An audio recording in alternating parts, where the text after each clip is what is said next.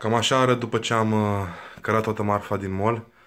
Este ora 10 seara și am venit, am terminat târgul, am venit din mall, am cărat uh, toată marfa, am strâns standul și acum vreau să fac un duș, să mă bag la culcare pentru că mâine este o zi de sală, este o zi importantă și vreau să fiu odihnit. Ciao!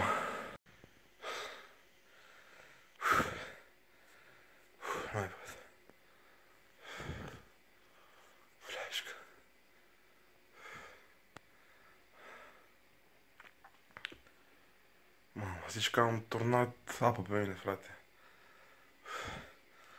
Și roaie, și roaie curge apa. Mamă.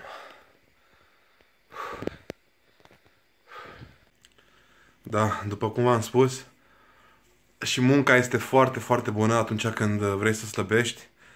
Important este să fii activ, să faci uh, absolut tot ce este nevoie pentru tine, pentru afacerea ta și vei avea rezultate chiar dacă nu ai fost la sală.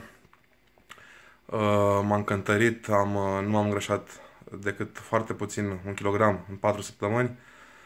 Și de aceea vă zic, și munca este foarte, foarte bună, chiar dacă nu faceți sală, chiar dacă nu aveți timp într-o zi, două, trei, nu e nicio problemă. Dacă aveți de lucruri prin curte sau pe la țară este, sau pe la firma voastră, este foarte, foarte important să uh, faceți lucrurile care sunt uh, mai importante prima dată și apoi când aveți timp vă veți duce și la sală, nu este nicio problemă.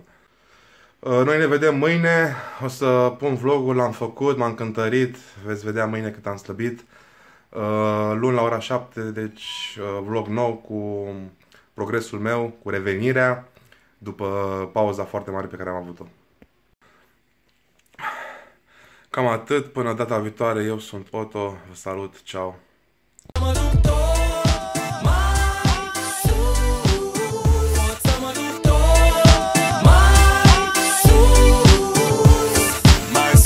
sus, mai sus, sus, mai sus, tot mai sus, sus, mai sus, sus, mai sus, sus, mai sus, tot mai